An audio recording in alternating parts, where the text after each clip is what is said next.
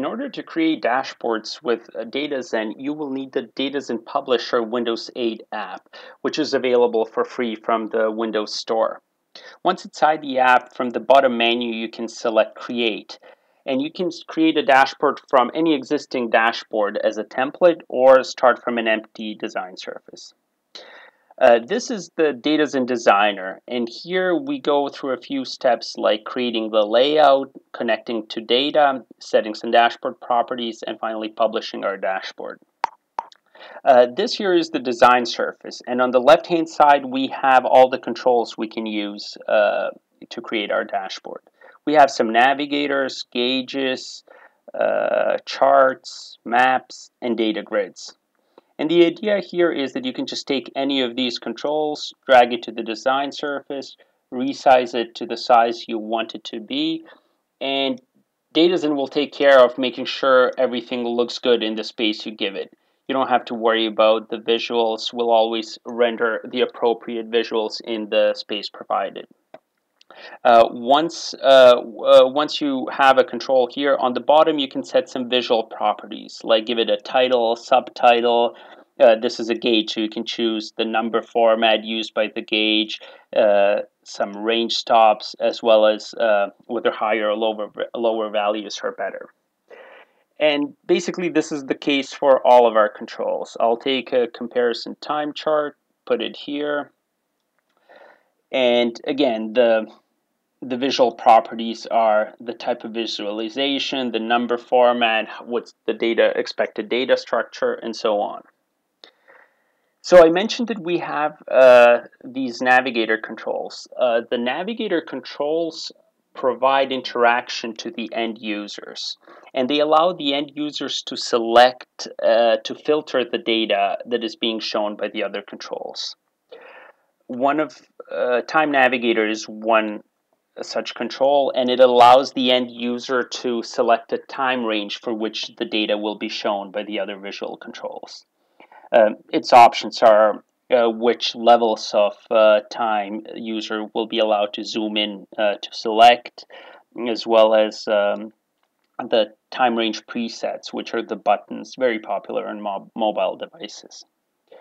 Uh, another navigator is a selection list. A selection list uh, can bind to a data column and it allows the user to select an individual entry from there.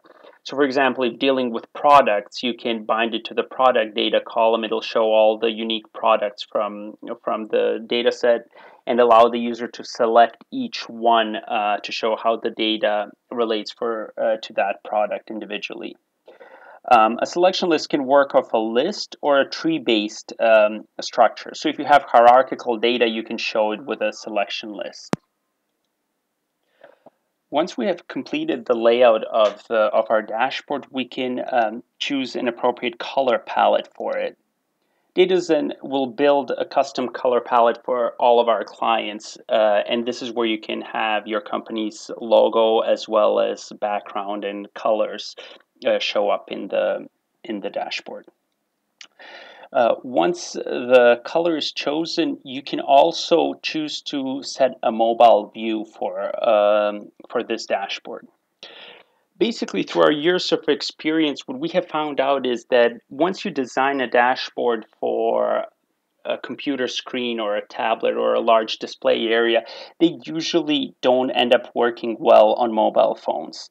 So what we give you here is a chance to create an alternate layout for the phone.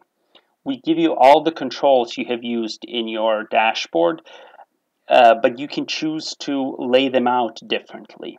So for example, we may want to have this time navigator here the selection list. Perhaps we don't want it to take all this space, but we want it to maybe give it just one row and it'll work like a drop down combo box.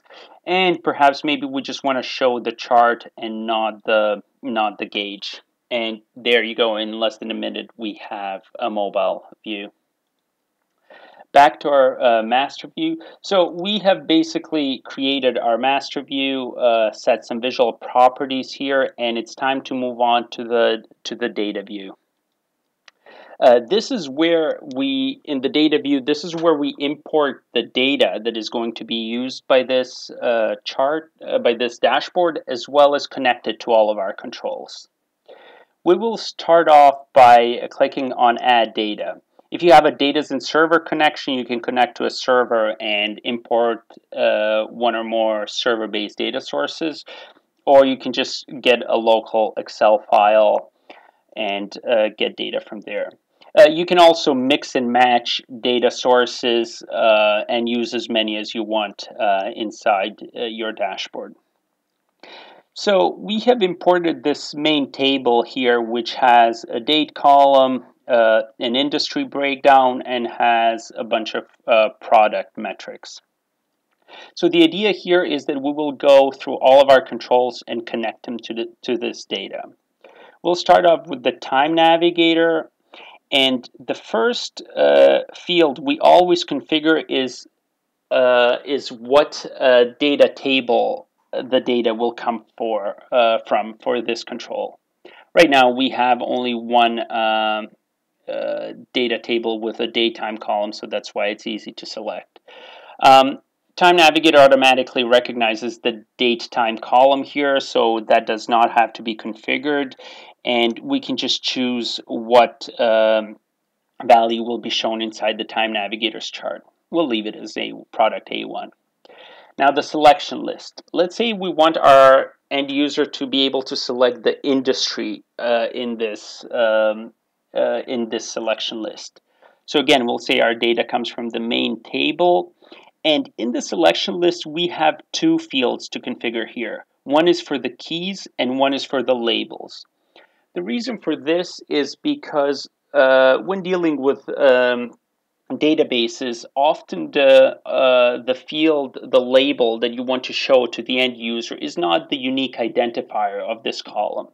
So we give you a chance to set a different fields for the keys, which is the unique identifier and will be used across multiple tables for filtering, and a label which will be used for uh, displaying the actual value to the end user.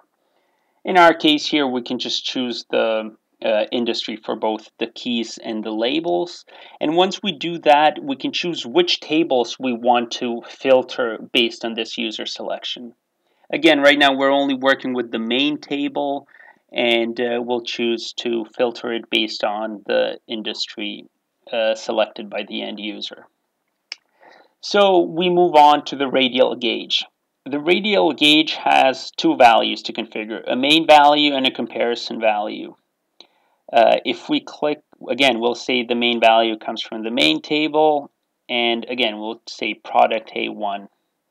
Comparison value, again, comes from the main table, and we'll use A1 targets for the comparison.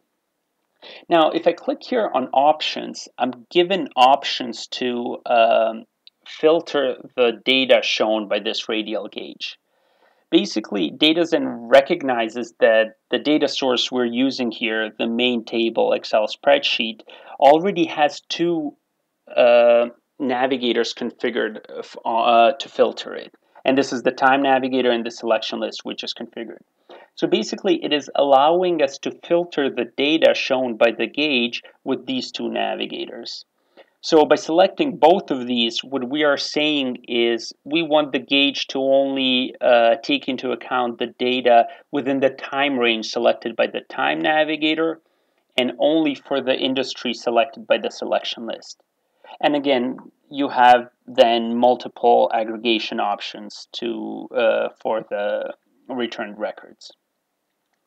So we'll do the same thing for both the uh, main value and the comparison value, and basically we're done configuring the gauge. We move on to the comparison time chart. Again, it's a comparison chart, so it takes has a main series and um, and a comparison series. We'll say both of these come from the main table.